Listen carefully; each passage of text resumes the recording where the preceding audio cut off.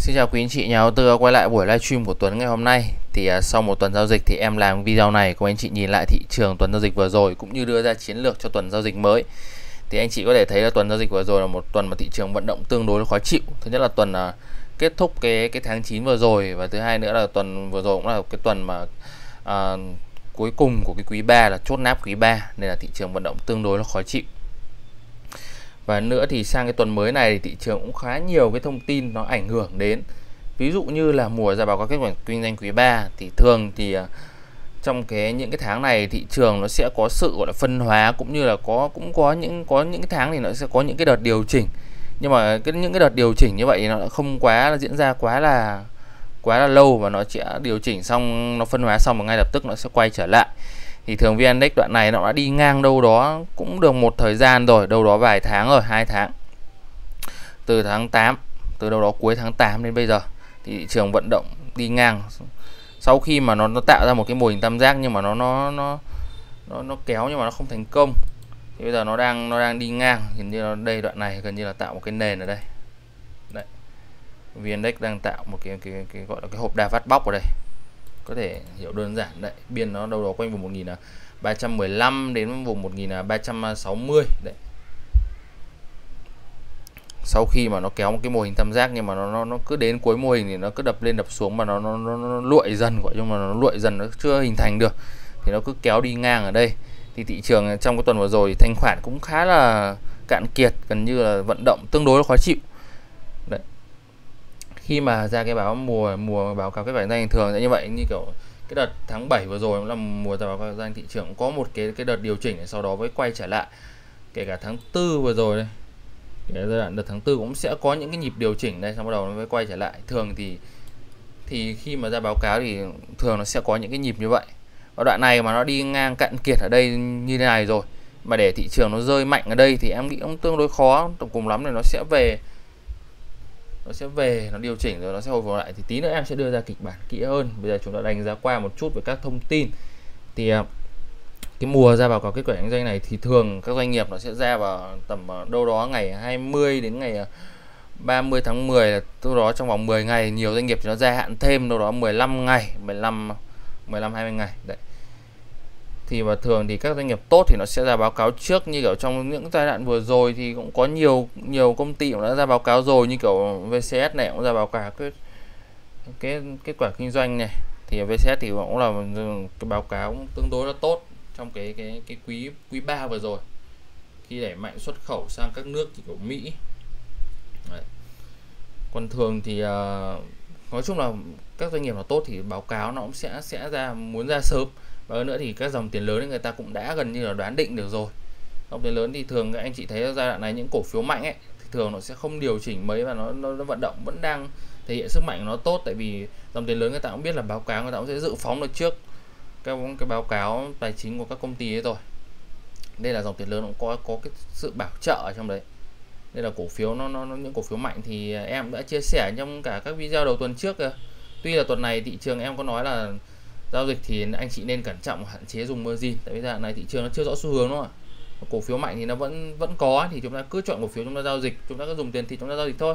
Và thị trường nó nó xác định xu hướng rồi, nó nó nó nó nó bắt đầu nó đi lên rồi. Thì bắt đầu mình mua, lúc đấy mình mình mua gia tăng sau cũng chưa muộn mà.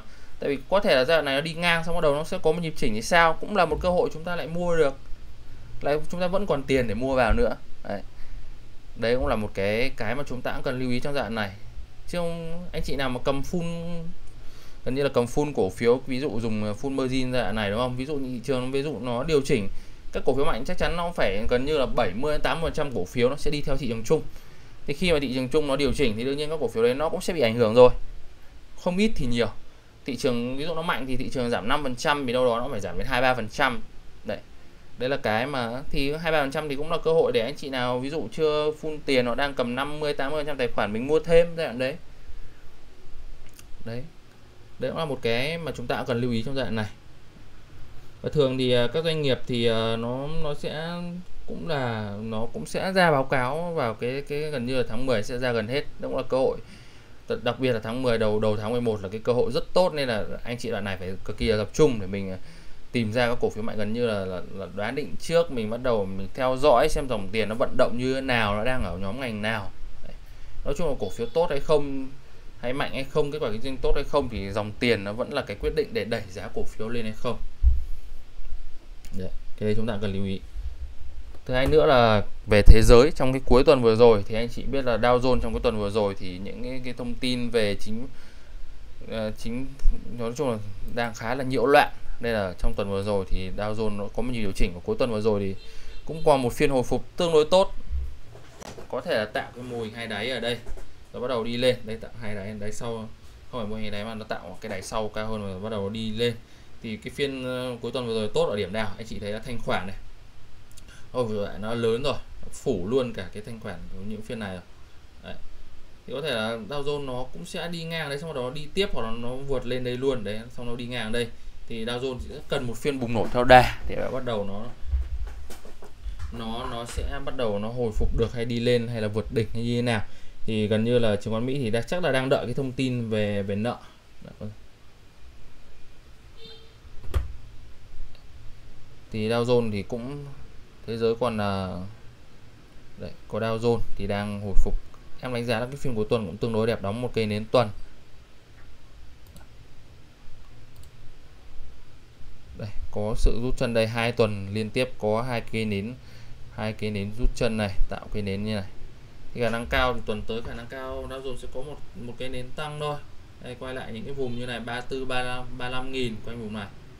Đây thì những cái giai đoạn đây những cái, cái giai đoạn nào mà mà điều chỉnh đây đi đến đây điều chỉnh đây tạo nguyên rút chân sau một cây nến rất mạnh vượt luôn đỉnh luôn. Cái đoạn này cũng có thể là như cũng có thể sẽ nó sẽ vận động như vậy được. Còn nó cứ tạo này, này đấy đi lên này dần dần thôi. Thì chúng ta cũng cần lưu ý. Tại vì nến tuần đang tạo một cái đáy sau cao hơn rồi. Đây rút chân liên tục ở những cái vùng 33 33 quanh 33.500 này 34.000 này. Đấy. cũng khá tương đối là tốt. Hơn nữa thì chúng ta nhìn vào uh, ngoài Dow Jones ra thì uh, xung quanh chúng ta là châu Á thì hiện tại thì cái Trung Quốc và Nhật Bản thì đang vận động. Ví dụ Nhật Bản nhé cuối tuần vừa rồi thì ừ, Trung Quốc điều chỉnh.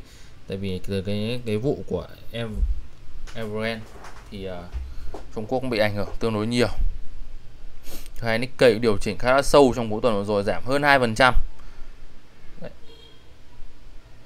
đây là Úc này. Đấy toàn giảm hơn 2% thôi. KBOG là Hàn Quốc này cũng giảm còn như châu Á của chúng ta thì yếu hơn cũng đang vào cái cái cái, cái đà điều chỉnh. Nên là cuối tuần vừa rồi thì các các các nước xung quanh chúng ta điều chỉnh tương đối sâu. Chỉ, chỉ có đâu đó Dow Jones thì đang vận động một phiên hồi phục tương đối tốt trong cái phiên cuối tuần vừa rồi. Cũng là một cái mà chúng ta kỳ vọng trong cái phiên mở đầu tuần của chúng ta. Thì thị trường sẽ có một cái phiên uh, tăng điểm.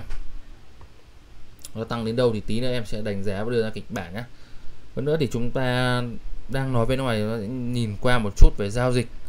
Giao dịch của nước ngoài trong cái tháng 9 vừa rồi cũng như là 9 tháng vừa qua thì à, nước ngoài ấy, à, bán dòng cổ phiếu Việt Nam gấp 17 lần so với cùng kỳ.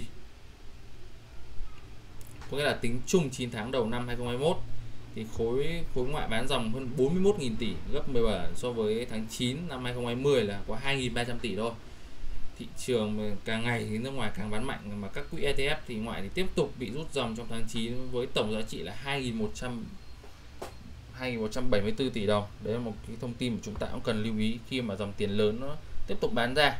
Nhưng mà thị trường thật ra thì à, chúng ta nói như vậy thôi. Nhưng mà thật ra thì à, cái cái cái tỷ trọng nước ngoài giao dịch trong một phiên thì đâu đó hiện tại chỉ chiếm đâu đó chỉ tầm à, 5 5 đến đến đến đến, đến 8 phần trăm thôi chứ không phải là chứ không phải là quá lớn như hồi xưa nữa. Và nhìn vào cái cuối cái, cái tuần à, cuối phiên cuối tuần vừa rồi cũng thấy nước ngoài bán dòng đây hơn 500 tỷ này. Tự doanh cũng bán dòng này. Và hơn nữa thì uh, tuần vừa rồi là tuần mà cá nhân cũng bán dòng thông qua khớp lệnh trong tuần.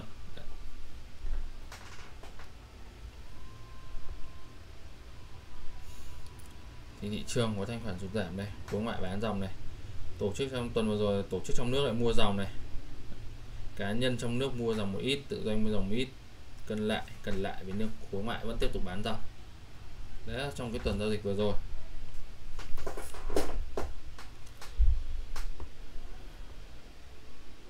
Và ờ, bắt đầu tháng 10 rồi thì khả năng sắp tới thì sẽ ra cái cái số lượng tài khoản mở mới thì tháng này thì nó chưa có, thường thì đâu đó thường mùng à, mùng 4 mùng mùng, từ mùng 3 mùng 5 nó sẽ ra thì chắc là thứ hai tuần tới. Thì cái thông tin về số cái lượng cái tài khoản mở mới thì xem như thế nào, xem nó có tiếp tục tăng không, hay nó lại giảm sút trong tháng vừa rồi. Cái đấy là cũng một cái mà chúng ta cũng cũng cần phải theo dõi. Đấy, thông tin đấy thì có thể là trong cái buổi livestream à, ngày mai thì em sẽ sẽ sẽ sẽ cập nhật đến anh chị.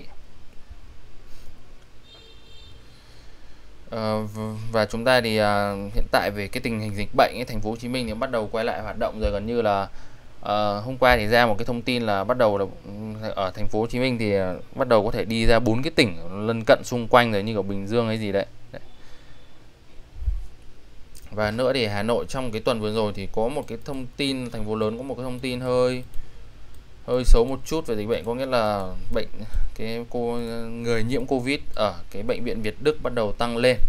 Thì ờ, hiện tại thì đang đâu đó nó rơi vào tầm hơn 200 ca hay sao số người nhiễm bệnh đấy cũng đã phong tỏa rồi.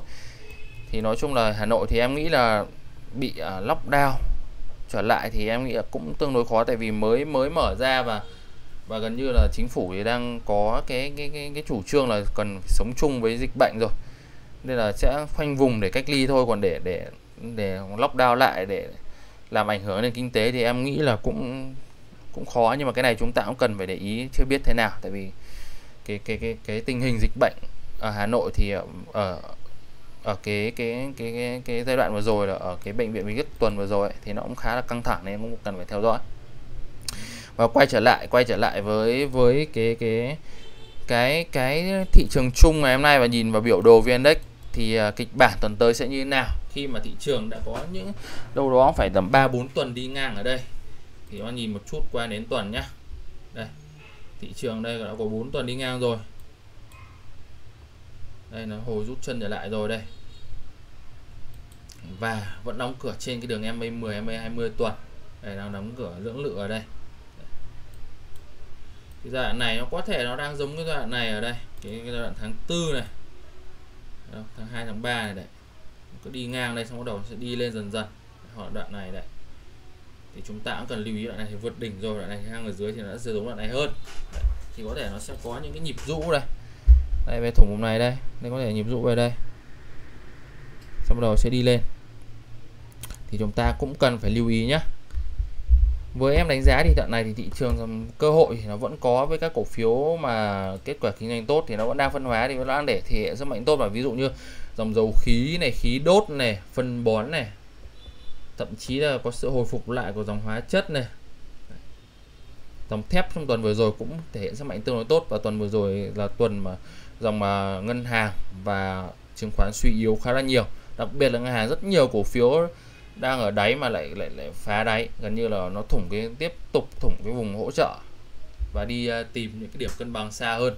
Cái đấy là một cái điều mà tương đối tương đối xấu của, của cái dòng ngân hàng. Khi mà rất nhiều cái thông tin về anh chị có thể thấy là thông tin về nợ xấu này tỷ lệ nợ xấu tăng này vào cuối năm này lợi nhuận ngân hàng trứng lại này đấy. Rất nhiều thông tin đưa ra nó không có lợi cho ngân hàng. Và gần như thì anh chị nào mà kinh doanh hay làm nào cũng biết là ngân hàng hiện tại thì ví dụ tỷ lệ cho vay đi nhiều nhưng mà thu hồi lại cho dịch bệnh cũng khá là khó khăn và nhà nước thì bắt đầu tiếp tục giảm giảm bắt đầu muốn cho giảm cái lãi suất vay. Thì nó ảnh hưởng đến lợi nhuận của ngân hàng khá là nhiều.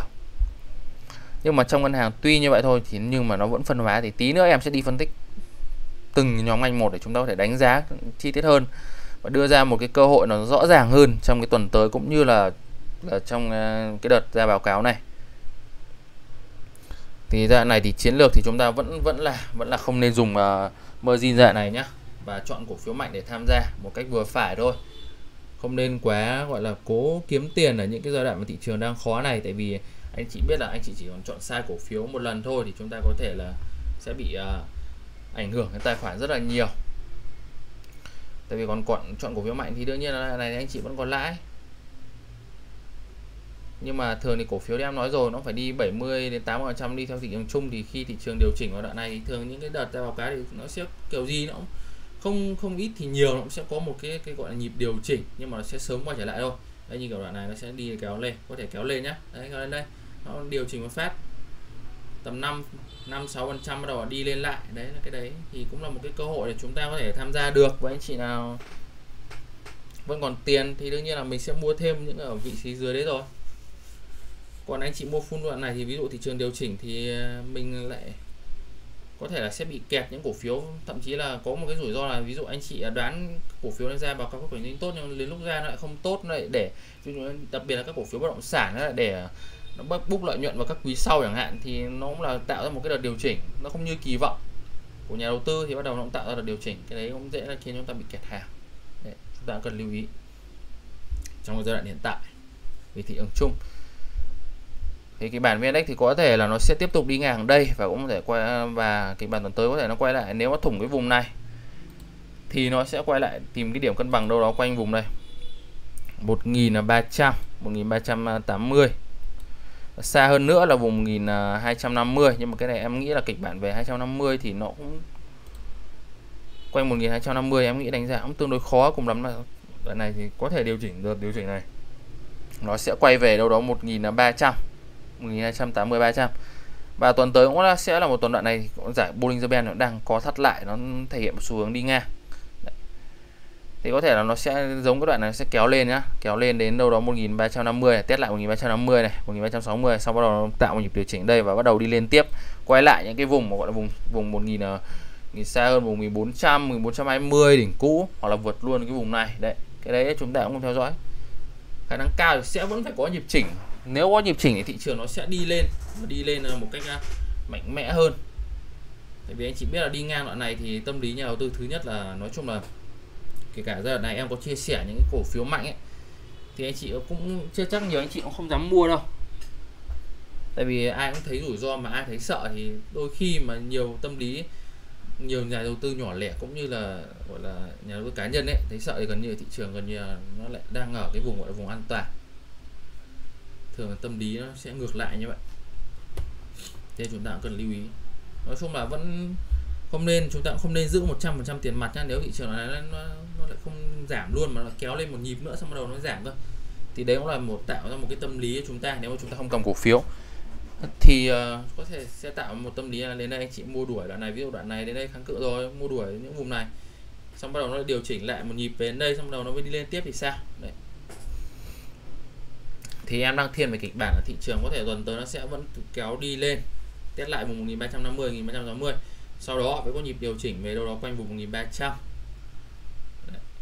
quanh vùng này 1300 1300 1300 quanh vùng đấy, cộng trừ biên 10 điểm. Xong bắt đầu nó đi lên, có thể là vượt luôn cái vùng kháng cự này, về tiến về đỉnh cũ luôn. Đấy. Kịch bản là thế trong cái tháng tháng 10 này. Em đang nghiêng về kịch bản như vậy tại vì giai đoạn này để nói thị trường mà rơi tự nhiên giảm luôn thì em nghĩ cũng khó tại vì bao nhiêu thông tin xấu về GDP về nhiều thông tin xấu về thế giới ảnh hưởng hay về doanh nghiệp thì nó cũng ra hết rồi. Thì, thì mà nó vẫn đang đang đang đang đi ngang vùng này. Coi như thị trường đoạn này em đánh giá đang làm thể sức mạnh tốt đấy. Khi rất nhiều thông tin xấu ra mà nó vẫn vẫn gần như là kiểu nó nó nó nó, nó áp lực lên thị trường mà thị trường vẫn có thể giữ được vẫn có thể chống đỡ được thì em nghĩ là đến đợt tới thì cơ hội cực kỳ nhiều nên anh chị cũng gần nên để ý giai đoạn này. Ok, chúng ta nhìn quay lại vào, nhìn vào một chút về VN30. Thì VN30 thì nó vẫn chưa hoàn thiện mẫu hình tam giác của VN10 thì yếu hơn VN-Index nó vẫn chưa hoàn thiện và nó nó vẫn đang điều chỉnh, có thể nó quay lại test ở đây Đấy.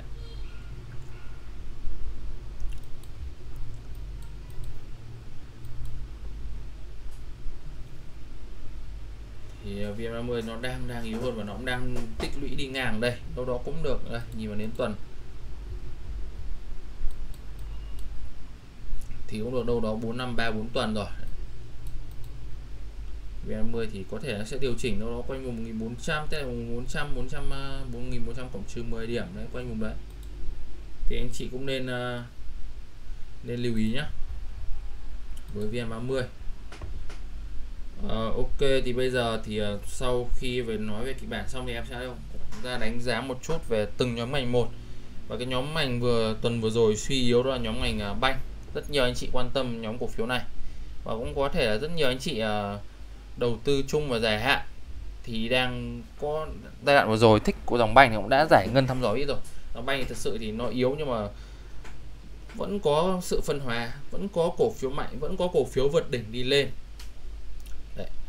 thì banh thì uh, cổ phiếu mà duy nhất cũng là một cổ phiếu mà em có chia sẻ đến anh chị đó là TV Bank. Đấy. từ những cái vùng mà quanh 3637 này các em đã nói rồi TV Bank khi mà Đấy, khi nó vượt đường còn chéo này thì là tạo ra một điểm mua đúng không? Và đoạn này vượt đỉnh rồi. Thì target đầu tiên nó cũng chỉ rơi quanh vùng 40 42 thôi nhưng mà đoạn này với sức mạnh này thì tiên phong có thể có thể là đạt được cái vùng 45 anh chị nào có thì cứ nắm giữ thôi. Cổ phiếu mạnh như này thì em nghĩ là nó cũng chưa thể quay đầu ngay được. Cùng lắm nó sẽ đi ngang tiếp vào đây, bắt đầu bắt đầu và đi lên thôi. Cổ phiếu tiên hoàng mạnh là một cổ phiếu tương đối mạnh.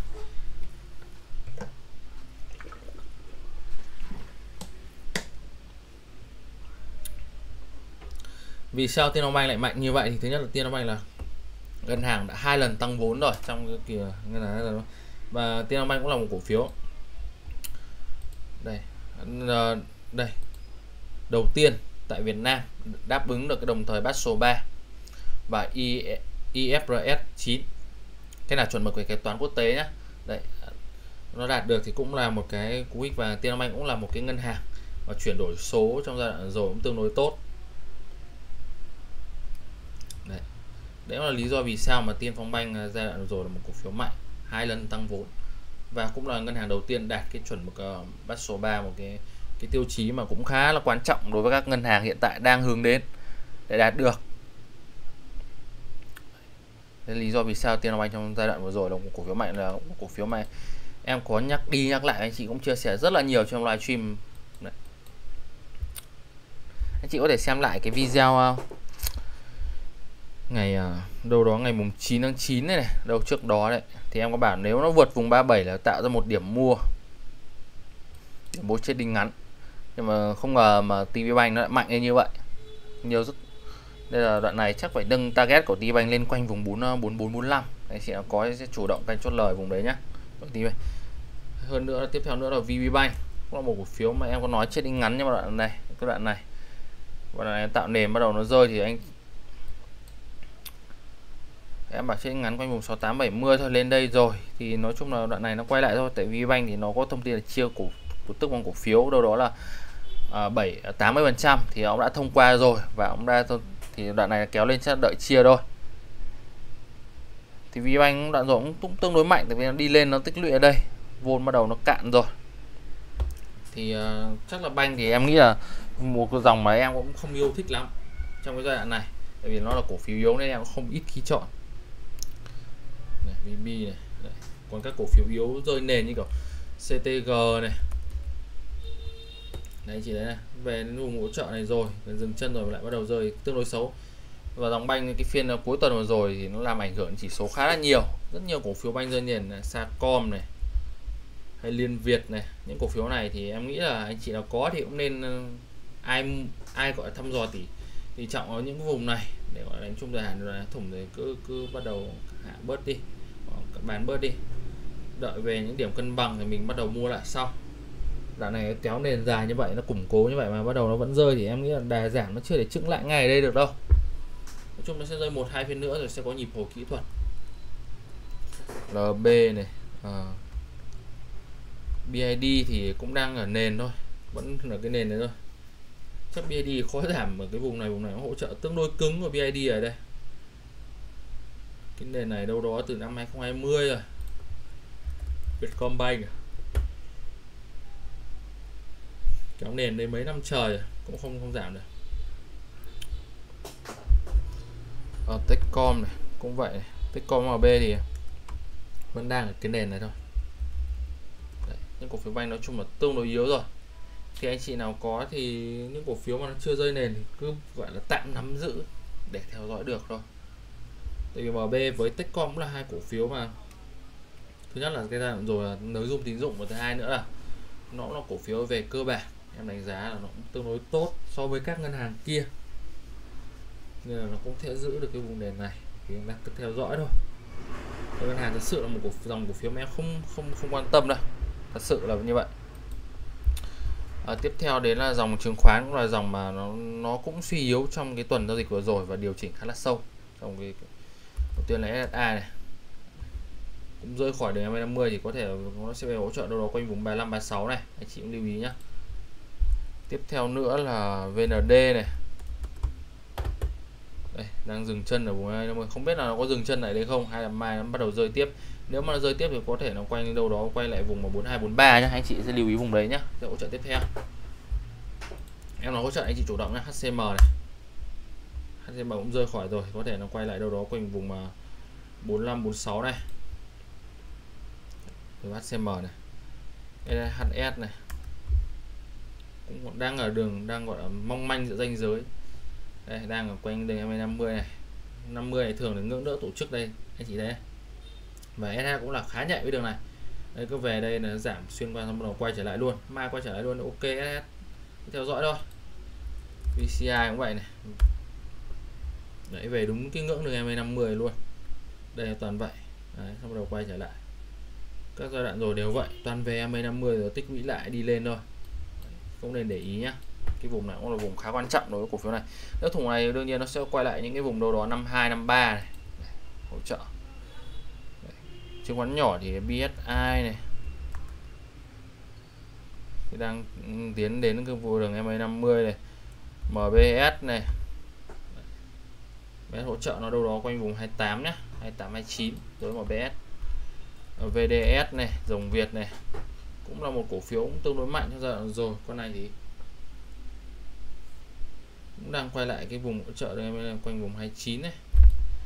Tuy có duy nhất cái con ABS này, cầm họ nhà Louis với lại các cổ phiếu đấy, tăng khá là mạnh nên bắt đầu nó vẫn tiếp tục tăng thôi. Liên quan đến tự doanh khá phân hóa, nó chứng khoán vẫn cũng phải có cổ phiếu mạnh, cũng đi lên phân hóa. Đấy. chúng ta cần lưu ý. Nói chung là chứng khoán với ngân hàng em nghĩ là chưa vội quay lại để theo dõi đâu. Nó nó nó khi mà nó điều chỉnh này nó ít nhất cần một, hai tuần để nó ổn định trở lại. Trừ một vài cổ phiếu mạnh. Nói chung là dòng này một, hai cổ phiếu thôi. Ok, tiếp theo là đến à, các cổ phiếu dòng thép. Dòng thép thì tuần vừa rồi cũng tương đối sáng. Ví dụ như Hòa Phát này khi tạo, một cái nền phẳng ở đây này.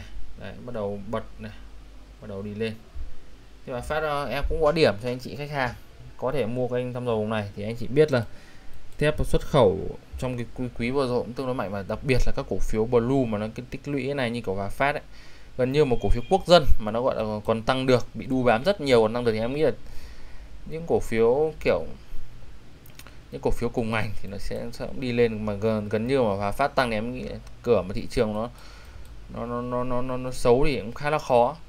Có thể cái rũ đây ví dụ nó bật lên này. Đấy. sau điều chỉnh lại có thể quay lại test lại. Đường này đâu đó quanh uh, vùng mà 51 đấy rồi bắt đầu đi lên tiếp.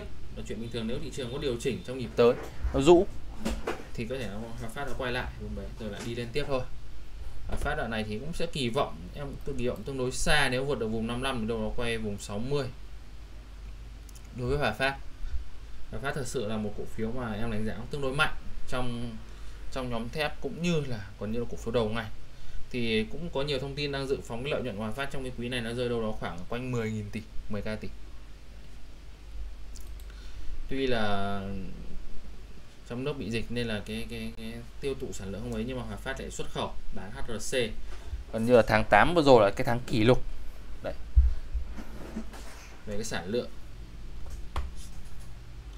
Ờ, nữa thì uh, Trung Quốc hiện tại thì đang gần như là cái về về về về sản xuất về những cái công ờ, như kiểu điện à, như kiểu thép này thì nó ảnh hưởng đến môi trường rất nhiều nên càng hạn chế thì thì cái cái cái, cái cung cái, cái cung ra thị trường nó đã đã ít rồi càng ít hơn đã thiếu càng thiếu hơn. Là cái nhu cầu càng đẩy lên. Em nghĩ là cái giá thép đến cuối năm lại tăng lại thôi. Khi mà à, giải ngân đầu tư công bắt đầu đẩy lên này bắt đầu đẩy lên thì sẽ đẩy cả xây dựng giải phóng mặt bằng nha các kiểu này thì à, về xây dựng nhân dựng người ta cũng người dân cuối năm cũng, cũng sẽ đẩy lên. Tại vì bây giờ giải phóng thì người dân cũng cần phải xây lại nhà hay cái gì đấy thì cũng sẽ đẩy lên. Cái đấy là một cái mà có thể là cái sản lượng tiêu thụ nó cũng sẽ tăng lên. Hòa phát cổ phiếu mà em nghĩ là Hòa Phát anh chị nào mua rồi thì có thể là ai chắc thì mua đủ luôn còn không thì đợi vượt 55 mua và giữ target là 60 mươi mua thêm anh chị có có thể canh lại lắc điều chỉnh lại đâu quanh vùng 5 51 52 có thể thăm dò được. Hòa Phát thì ở đoạn này mua thì có thể là anh chị sẽ nâng cái cái cái, cái stop loss của mình lên đâu đó quanh 151 thì cùng lắm là chúng ta sẽ bán hòa đoạn này. Nếu mà nó quay trở lại vùng này. Đây. Những anh chị nào đang nắm giữ và mua rồi.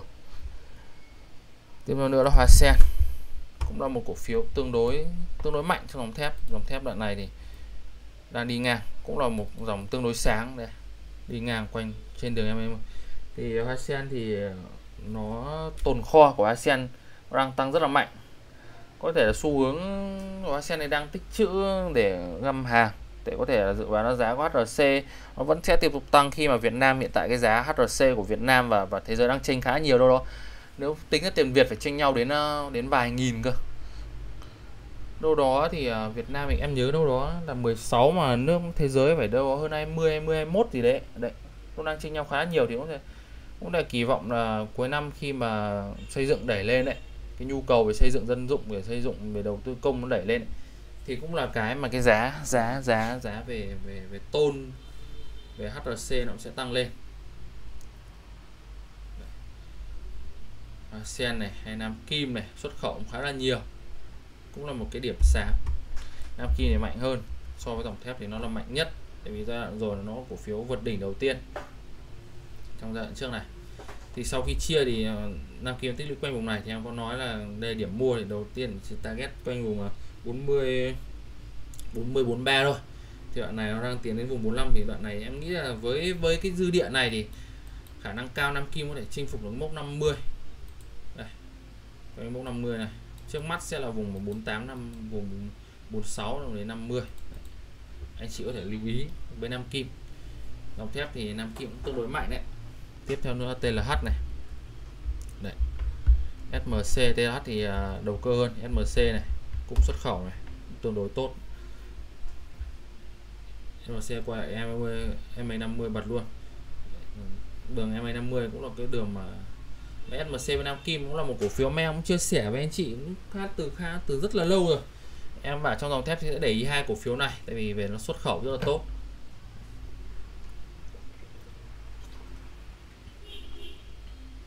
Sau đó đến là Hòa Phát và Hoa Sen. Thì các cổ phiếu này vẫn đang thể hiện sức mạnh tốt. Thì trong tuần tới thì thép cũng là một cái điểm sáng, ví dụ như Nam Kim này SMC này, hay Hoa Sen này, anh chị nào chưa có để để ý được nhá thì mình có thể canh tham gia được. Dòng thép với các cổ phiếu này. À, tiếp theo nữa là dòng dầu khí và khí đốt. Thì anh chị biết rồi cái giá này cái giá dầu khí dầu ấy và khí đốt trong cái tuần vừa rồi tăng rất là kinh khủng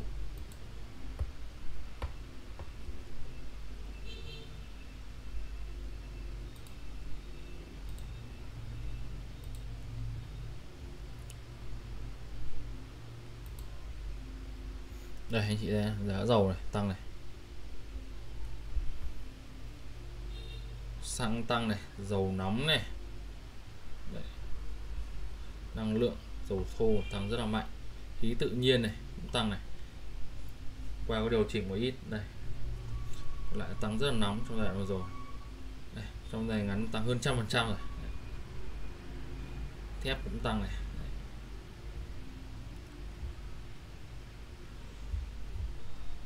Than tiếp tục gia tăng này những nguyên liệu về khí đốt này đấy anh chị thấy tăng rất mạnh. Thì cái nhóm? Cái nhóm nhóm khí thì có một vài cổ phiếu như của B, BVG này BVS này BGS này BGS này đấy. Nhóm khí này tăng rất là mạnh CNG này các cổ phiếu. Nhóm này thì thanh khoản là tương đối thấp nói chung là sẽ dành cho anh chị là size nhỏ nói chung là cái cổ phiếu này thì em sẽ không public được. Vì thanh khoản thứ nhất là nó này nó rất là anh chị cũng phải hiểu là giai đoạn thanh khoản rất là bé nếu mà, mà thể public quá sớm thì anh chị nó, thứ nhất là cũng không mua được và có thể là cái cổ phiếu này nó cũng sẽ bị đu bám nhiều và nó cũng sẽ gây ra cái tình trạng là bị uh, bị kẹt Vậy anh chị cũng nên và trong khí ga cũng tăng khá là mạnh gas này gas trong tuần vừa rồi cũng tăng khá là mạnh này Đấy. thì sau khi tích lũy ở đây thì nó bước vào nhịp tăng vào đoạn rồi nó vượt đỉnh rồi Đấy. Thì các em nói đây nó vượt cản chéo đây phiên điểm mua này. Hôm nay phiên phiên cuối tuần là rồi rồi là phiên hàng về. Đặt vùng thì đoạn này gác nó sẽ có thể tiến đến quanh vùng 105 105 110 nói chung là về những cái cái về về khí ấy, thì em em nghĩ là đoạn như kiểu những cổ phiếu lớn như kiểu gas ấy nó nó sẽ nhịp tăng nó sẽ không được dài đâu nó chỉ cùng lắm là nó sẽ tăng đến như vậy thôi còn nói về dòng dầu khí những muốn cái nhịp tăng lớn hơn ấy thì phải những cổ phiếu gọi là nó thứ nhất là nó nó, nó nhẹ hơn một chút. Ví dụ như BVS này thường một cái sóng nhịp tăng của dầu khí thì những cổ phiếu như BVD, BVS nó tăng ít nhất phải tầm 30 phần trăm quanh 30 phần trăm đấy. Thì BVS là một cổ phiếu em nghĩ là nếu đoạn này nó vượt khỏi cái vùng này gần như là vượt vùng đỉnh thời đại của BVS đây cái vùng mà 30 này vượt cái vùng đỉnh thời đại này thì dư địa BVS BVS nó tăng được lên vùng 35 40 là có thể có thể có thể xảy ra. Nên chị cũng cần lưu ý.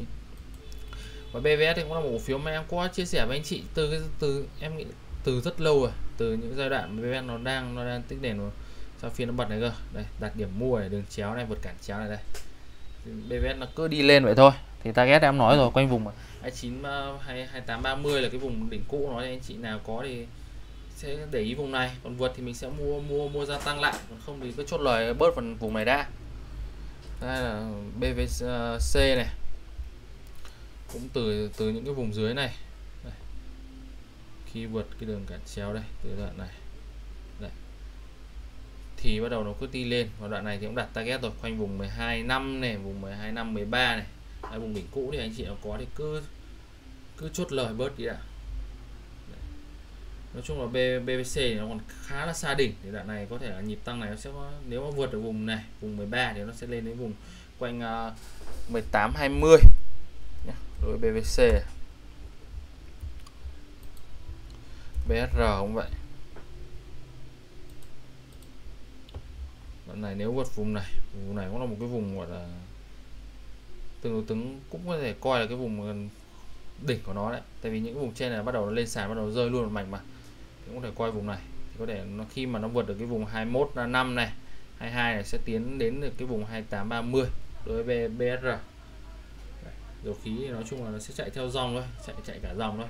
Nên anh chị cứ lưu ý nhé à,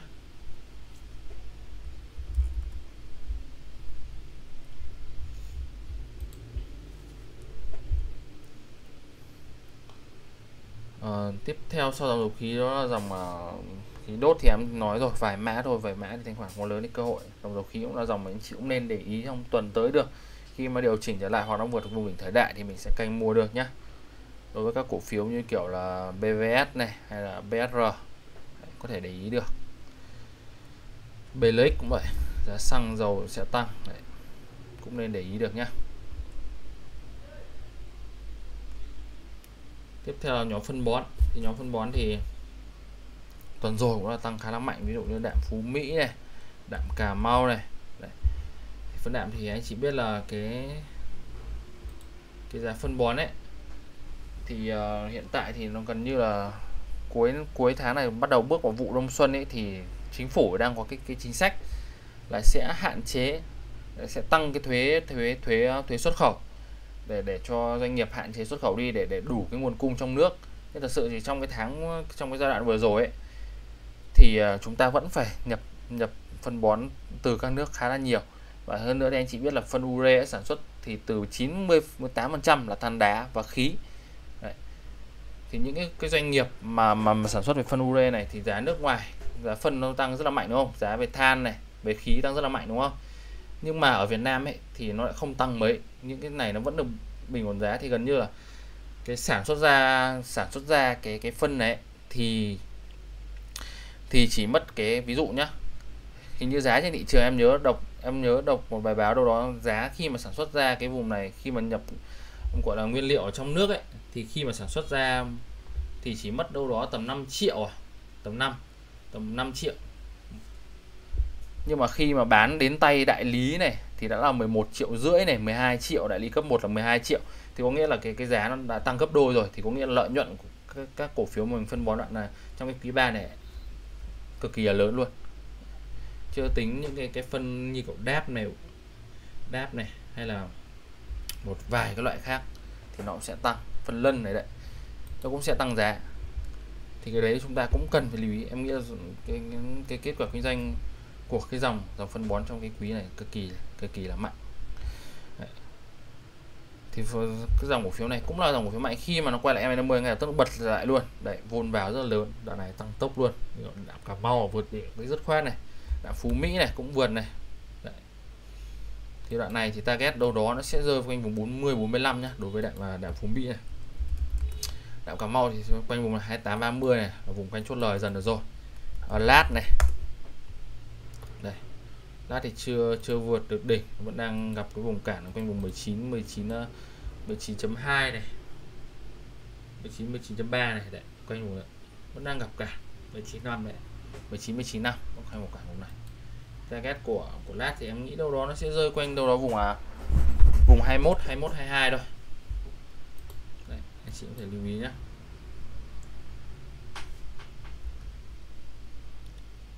DDV này cũng về phần phần đáp này. Nhưng DV thì nó đoạn rồi thì Louis đã đánh hơi phũ. Tự nhiên Louis vào mua cái thông tin đẩy giá này xong rồi quay lại thì nó cũng trần đây quay lại đây thôi. Nói chung cổ phiếu này thì bây giờ thì hơi khó tham gia. Mô hình hơi khó khó chịu. Nên là phải các dòng phân bón nhé. Phân bón thì à, cái điểm mua nó cũng qua rồi nên em nghĩ là giai đoạn này thì nếu muốn mua thì chắc phải đợi chỉnh thôi. Còn nó tích lũy lại xem như thế nào tiếp theo nhóm hóa chất thì cũng có sự hồi phục trở lại của DGC này. Trong tuần vừa rồi khi mà quay lại test lại đường EM10 này, cũng chết khấu một đoạn rồi. Thì DGC thì à, quý 3 này em đánh giá lợi nhuận về giá food for hay các nguyên liệu đầu vào của DGC và nó cũng đang tăng giá khá là tốt. Ví dụ các à, cho cái nguyên liệu và hiện tại chất bán dẫn ấy, nó cũng đang thiếu khá là nhiều. Thì em nghĩ là cái dư địa nó vẫn còn DGC target có thể là trong cuối năm nay có thể đạt tới cái mốc 200 CSV thì cơ bản nó không bằng. Những cổ phiếu này thì nó nhẹ hơn nên tính một khi đánh là nó cứ đánh một phát là trần luôn thôi. Có thể đoạn này CSV nó sẽ quay lại những cái vùng như kiểu 65 này 65 70 này quanh vùng đây thứ nhất là những cái đà giảm nó lấp được cái gap đấy trước mắt là vùng 65 em nghĩ là anh chị mua đoạn này thì canh vùng nó chốt lời dần thôi.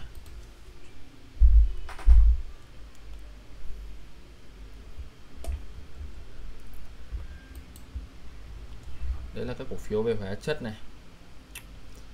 Một uh, dòng cổ phiếu nữa khi mà đại dịch quay uh, hết uh, dịch bắt đầu được, được khôi phục trở lại thì ngành bán lẻ cũng là một ngành mà chúng ta cần phải lưu ý được trong cái giai đoạn sắp tới đó là ngành bán lẻ. Ngành bán lẻ thì uh, đầu tiên thì sẽ nói đến một chút về các cổ phiếu về ví dụ về buôn bán như kiểu uh, MWG này trong đoạn rồi khá là mạnh này tăng một đoạn xong đang đi ngang đây, cũng là một cổ phiếu chúng ta nên lưu ý nhé tuần tới nếu đi ngang đây thêm một vài phiên nữa, hoặc test lại đường em 20 này thì anh chị có thể tham gia được. Target đồng BWG thì đoạn này vẫn rơi quanh vùng 135 140 BWG thứ hai là FPT này, đang tích lũy khá tốt ở cái vùng này. Sắp tới khả năng thị trường nếu mà điều chỉnh mà muốn đi lên nữa thì có thể là FPT cũng sẽ được dùng đến thôi sẽ tăng trở lại. Target vẫn quanh vùng 100 nhé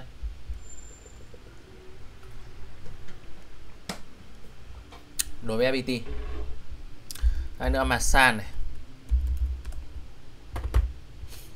Masan đoạn này nó tăng rồi điều chỉnh lại thì có thể nó sẽ tích lũy thêm ở đây xong bắt đầu sẽ quay lại. Đâu target của Masan đoạn này có thể lên 150 160 đối với Masan. Ờ, Digigua này. Digigua thì ờ, phân phối độc quyền uh, Xiaomi. Thì anh chị biết là hiện tại ấy, thì chính phủ thì đang à, cấm nhập khẩu các điện thoại như 2G, 3G và theo thông tư 43 thì đẩy mạnh sử dụng các điện thoại thông minh từ mùng 1 tháng 7 năm 2021 thì có thể là các ừ, và thị phần của Xiaomi trong cái tăng trưởng em nhớ đâu đó từ từ 9% lên mười mấy phần trăm ấy. Và cái cái giai đoạn rồi thì Vinsmart ấy, của của của Vin Vingroup ấy thì nó bắt đầu không không hoạt động nữa. Thì Vin Vinsmart đấy thì nó thì nó chiếm đâu đó thị phần đâu đó phải tầm à, chín phần trăm. Thì khi mà mà rời khỏi thì cái thị phần nó sẽ chia đều. Như là ông nào mà cơ hội tốt thì sẽ lấy lại phần đấy thì nó cũng sẽ đẩy cái phần phần thị phần của mình lên. Và Samsung trong cái quý hình như quý 2 vừa rồi ấy, cũng giảm đâu đó giảm mất 12 đến 3 phần trăm ấy. Oppo cũng vậy này đấy. Thì à, Xiaomi với lại Apple thì nó sẽ tăng thị phần. Thì có DigiWorld thì cũng là một cái phần vì sao mà DigiWorld đoạn rồi tăng mạnh như vậy. Thì Google thì em có bảo là nó tích lũy ở đây. Đây, cũng là một cổ phiếu mà em đánh giá mà em cũng chia sẻ với anh chị cũng từ rất lâu rồi, từ đầu tháng 9 rồi, anh chị nào không tin cứ xem lại video như trước cả dịch cơ. À trước cả nghỉ lễ mùng 2 tháng 9 cơ, em chia sẻ cổ phiếu này. Thì sau đó nó vào nó tăng một nhịp rất là dài, mở chen tăng luôn từ đây đến đây. Tăng phát 30% luôn rồi nó tích lũy lại thì đoạn này, tích lũy này tốt như này thì khả năng cao thì đi qua đoạn này nó sẽ lên lại đến vùng 130 140 nha, anh chị cứ lưu ý cổ phiếu này. Tại vì nhu cầu mua sắm hay đổi mới về điện thoại về cuối năm em nghĩ càng ngày càng càng nhiều thôi. Nhu cầu ấy và vâng, thêm được chính phủ hỗ trợ như vậy nữa thì em nghĩ là đi cũng là một cổ phiếu mà chúng ta cũng cần nên theo dõi. Thứ hai, một cổ phiếu phân phối iPhone như kiểu tiếp theo là bet này. Bet thì đồ thị kỹ thuật của nó thì kỹ điểm kỹ thuật nó chưa được mạnh, nó đang hơi yếu một chút. Có thể nó sẽ phải đi đóng cửa trên đường M20 trên vùng này. Đấy. nó bắt đầu đi ngang đây xong đó vượt đỉnh. Thì bet thì à, phân phối là phân phối iPhone. Chủ yếu là iPhone và nó có một cái game, nó là game của BVN thoái vốn. Thì bet cũng cần là cổ phiếu, cũng là có thể lưu ý được nếu đoạn tới thứ hai là nó, nó, nó cũng về em 50 nó bật trở lại được thì cũng là một cổ phiếu em đánh giá cũng tương đối là ok. Thì có thể là nó sẽ đi ngang quanh vùng này bắt đầu nó sẽ mở một nhịp tăng mới thì em phải để ý nhé nếu tích lũy lại có thể canh tham gia được đối với Ben nhá. FRT đó. FRT chuỗi nhà thuốc thì cũng cổ phiếu này cũng ra rồi cũng cải thiện cái biên lợi nhuận của mình khá là tốt. Từ lỗ mà chuyển thành hòa vốn bắt đầu có lãi rồi. Bớt lỗ bớt lỗ và gần gần đến điểm hòa vốn rồi thì có thể đoạn này FRT nó sẽ quay lại chinh phục vùng 50 năm 52 để à, chị có có thể theo dõi tiếp nhé nắm giữ tiếp. Đấy, dòng bán lẻ. Chia sẻ một vài cơ hội. Tiếp theo nữa là dòng mà bất động sản, bất động sản khu công nghiệp trong tuần vừa rồi. Thì bất động sản thì sao? Bất động sản thì có một cổ phiếu mà em chia sẻ với anh chị cũng khá là lâu rồi. Từ cũng từ trước thì như trước cả nghỉ lễ mùng 29 cơ. Cổ phiếu này nó nó cứ nó thể sang mạnh tốt, nó cứ đi ngang trong đoạn này nó mới thể sang mạnh này. HDC trong bất động sản thì HDC em có nói là với cái kiểu như này thì HDC nó sẽ có thể target nó sẽ là 80 thậm chí là 85 thì đoạn này bắt đầu nó tăng tốc rồi thì có thể đoạn này sẽ chinh phục vùng 80 Đấy, 80 85 em nghĩ là thời gian tới sớm thôi. Đấy chỉ có cứ tiếp tục nắm giữ thôi. Cổ phiếu này cổ phiếu mạnh mà. Động sản Hà Đô này. Hà Đô đánh hơi khó chịu hơn một chút. Đây về đến đây bật lên này M50 bật lên tiếp, đoạn này cũng về em bật lại. Thì có thể ba lần, thì có thể lần này nếu vượt vùng mà vùng 60.5 anh chị có thể mua này, vượt vùng 61 mình sẽ mua. Để vượt dứt khoát vùng 61 thì mình mua giá tăng nhé. Target đoạn này của của Hà Đô nó sẽ rơi vào vùng à, 66 70 đối với Hà Đô.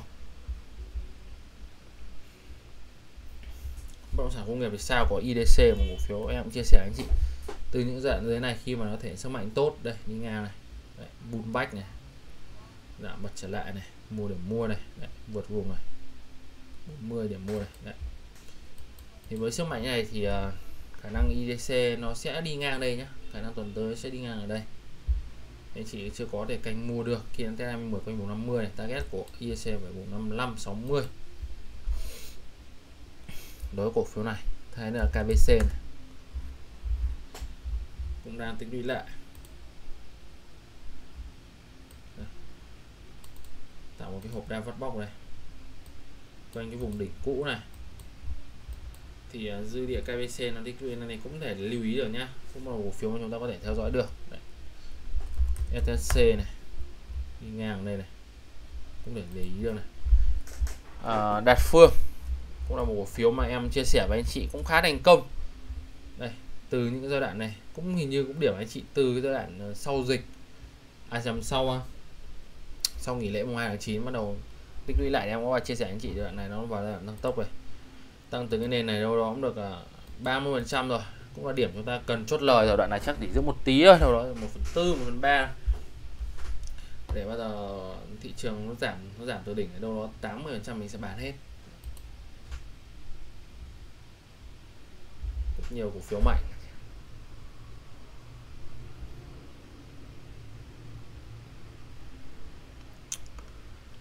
Ờ, là còn dòng nào nhỉ?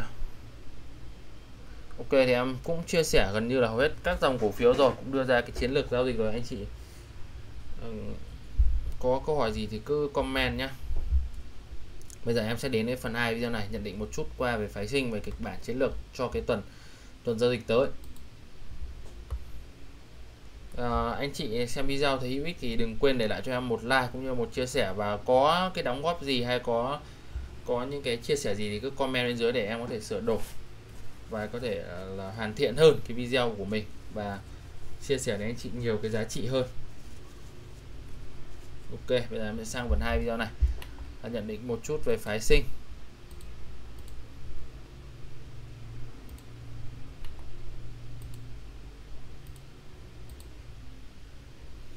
Ở đoạn này thì thị trường sideways thì đương nhiên là phái sinh cũng đi, sẽ đi ngang rồi giao dịch tương đối khó chịu trong cái tuần giao dịch vừa rồi.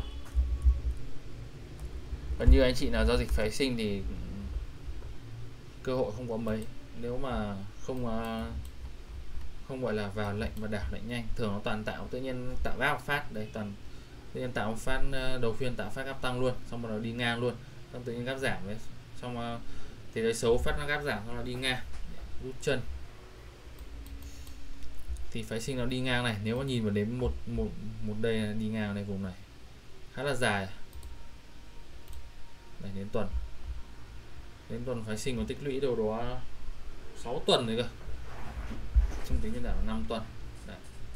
tích lũy uh, tương đối là dài rồi. Thì nói chung là kịch bản chiến lược thì nó sẽ nhìn vào à, đến 15 phút trước thì em có nói rồi. Cái hỗ trợ hỗ trợ đang khá cứng ở vùng một uh, 1439 à, là cái vùng mà khớp lệnh nhiều nhất trong cái giai đoạn à, vừa rồi. Thì cái phiên ờ, cuối tuần vừa rồi thì có một gọi là, cái khi mà nó thủng vùng này thì áp lực bán nó ra, gọi là cắt lỗ đấy. Nên đạp sâu về cái vùng 35 này, đấy. Sau bắt đầu nó cũng là một vùng hỗ trợ đây 35 này, đấy. Quanh 35 này, sau nó hồi phục lên, rút chân đóng cửa trên 39 thì em nghĩ vùng 39 vẫn là cái vùng mà hỗ trợ tương đối tốt của những khung thời gian lớn. Ví dụ như là vì nó cửa rút chân mà thì kịch bản tuần tới sẽ như nào? Với cái cái tích cực của thế giới trong cái phiên cuối tuần rồi khả năng là nó sẽ quay lại lấp ghép. Đấy, những cái vùng quanh vùng à, 4950 này, thậm chí là thậm chí là vùng 55 thì còn với thì em đang nghiêng về đầu tuần thứ hai rồi, thì bản lo nhiều hơn nhá. Có thể là sẽ test lại những cái vùng này. Em nghĩ không thể lại vùng 35 đâu, nó chỉ tới 39 thôi. 38 39 vùng ấy sau bắt đầu nó đi lên và đến cái vùng mà 50 55 này 55 58 này anh chị bắt đầu canh chú ý chốt lời dần nhé Đấy. nói chung đoạn này thì ờ, chưa tăng mạnh nữa đâu nó vẫn sideways thôi. Bên trên nó đây. Vùng 5860 là bên trên bên trên lớn nhất đấy, đấy. thì để ý nó vẫn giao dịch quanh vùng này. Thì chị để ý nhá. Phái sinh thì em có chia sẻ một số đơn giản với tôi và hiện tại thì nước ngoài vẫn đang vẫn đang à, mua dọc vị thế long đâu đó hiện tại đang là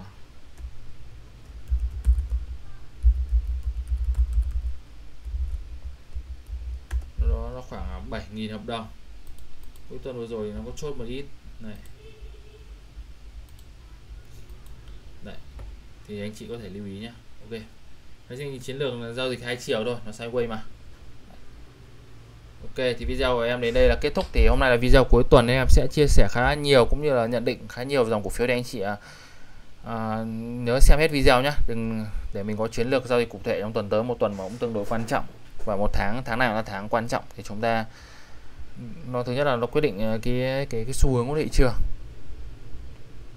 Và thứ hai là mùa ra báo cáo mà giao dịch lúc nào cũng khó khăn nên anh chị à, lúc nào cũng giữ cho mình một cái tâm lý thật là bình tĩnh nhất, muốn thoải mái nhất để mình có thể có những cái cái điểm mua bán hay giao dịch, đưa ra quyết định nó nó nó hiệu quả nhất. Ok, chúc anh chị đầu tư thành công. Hẹn anh chị vào các video lần sau và anh chị đừng quên để lại cho em một một like cũng như là chia sẻ video để lan tỏa đến nhiều anh chị nhà đầu tư hơn. Còn nếu anh chị nào đang đầu tư thua lỗ hoặc là đang à, chưa có phương pháp đầu tư thì có thể kết bạn zalo với em hoặc là và với số điện thoại là 0945837263 thì em sẽ tư vấn hỗ trợ anh chị. Và anh chị à, chưa có tài khoản VPS thì cũng có thể kết bạn với em thì em sẽ hướng dẫn mở. Hoặc là anh chị nào có rồi thì có thể chuyển ID về cái cái số ID của em ở cái phần dưới cái phần mô tả của video này. Ok, hẹn gặp lại anh chị vào các video lần sau.